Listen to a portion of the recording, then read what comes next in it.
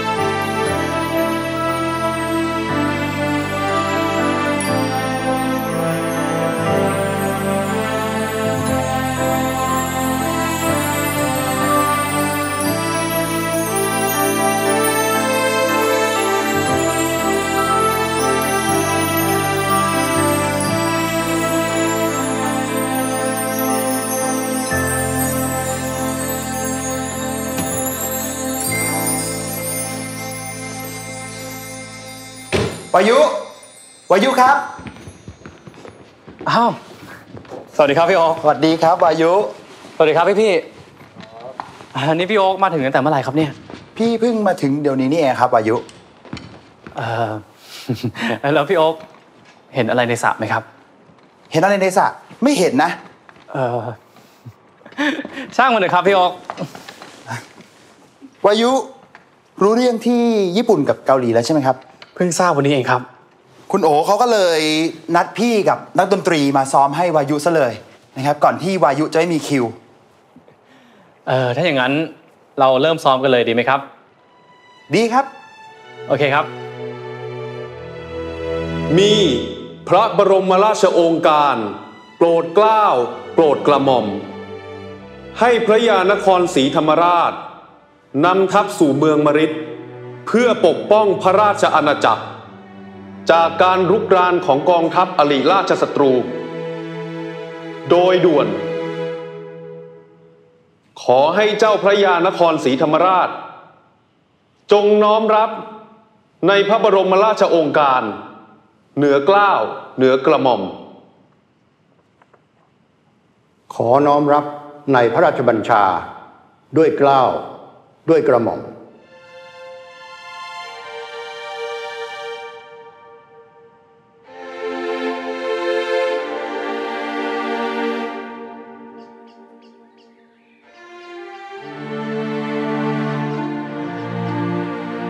ฉินเพคะ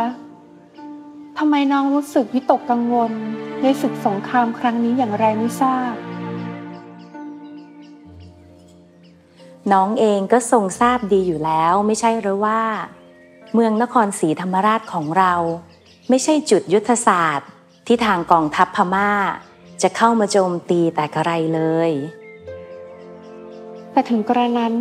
น้องก็ยังหวั่นใจอยู่ดี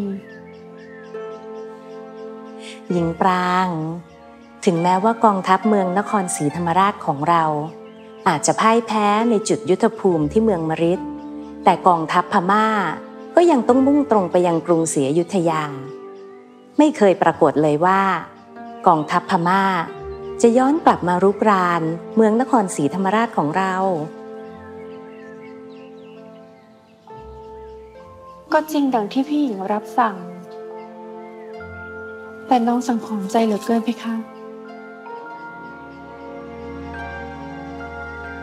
หญิงปราง ทรงสังหรณ์พระไทยเรื่องอะไร น้องสังหรณ์ใจว่า หากสิ้นศึกสงครามในครั้งนี้ ชีวิตน้องและชีวิตของพี่หญิง จะต้องเปลี่ยนไปเพคะ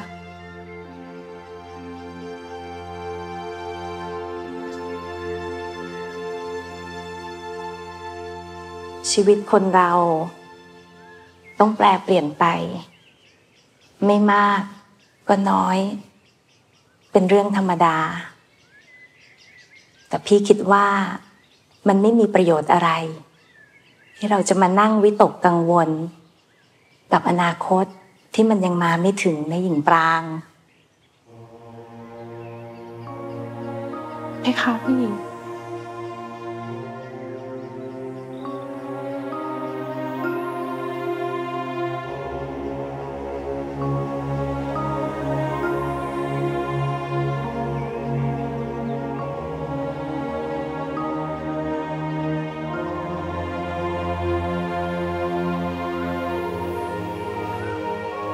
คาดไม่ถึงเลยว่าจะมาถึงเร็วป่านนี้คนเรือบอกว่ากระแสน้ำเหนือส่งให้เรือเร็วมากเจ้าค่ะ เข้าไปกราบท่านแม่ก่อน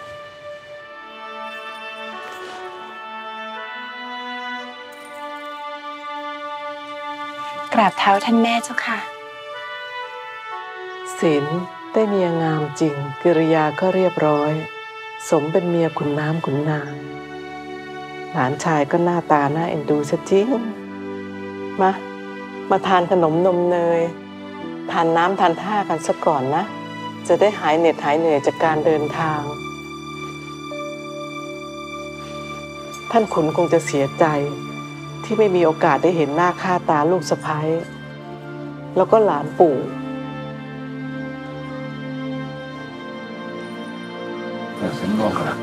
อ้าวทองด้วง มาแต่เช้าเชียว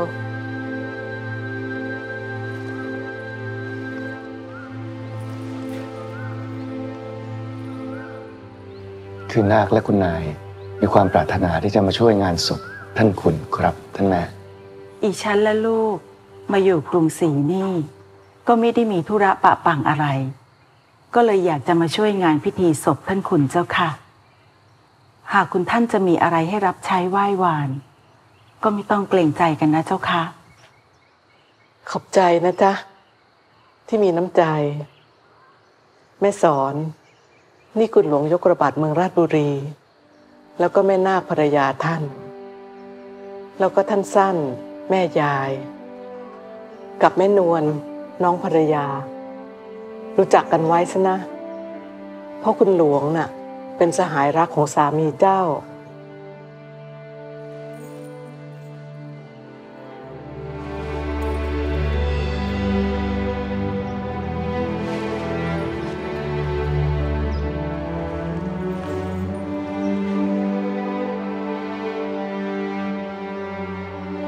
คุณหลวงและคุณนายท่านเจ้าค่ะ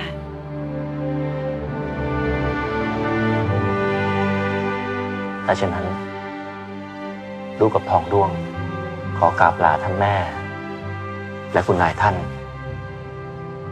รีบไปประชุมราชการงานศึกในพระบรมมหาราชวัง คงจะกลับมางานสวดก่อนเวลาค่ำขอรับ เจ้าจุ้ยอยู่กับท่านย่านะลูก พอรับท่านพ่อ ยังไงฝากแม่นาคให้คุณลุงช่วยเมตตาด้วยนะครับ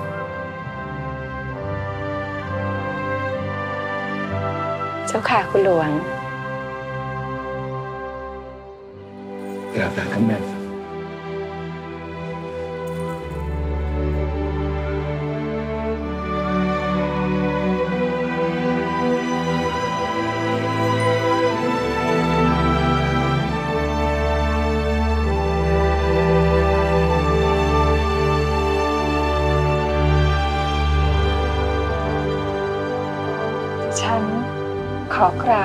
ฝากเนื้อฝากตัวไว้กับคุณหญิงด้วยนะเจ้าค่ะ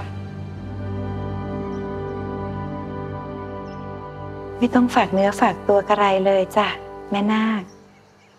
ขอให้เราเป็นญาติมิตรที่ดีต่อกัน ก็เพียงพอแล้ว จริงแท้ทีเดียว ตอนนี้เราก็เหมือนคนในครอบครัวเดียวกัน เป็นครอบครัวที่ต้องถวายความจงรักภักดี ต่อองค์สมเด็จพระเจ้าอยู่หัว และแผ่นดิน จงจำเอาไว้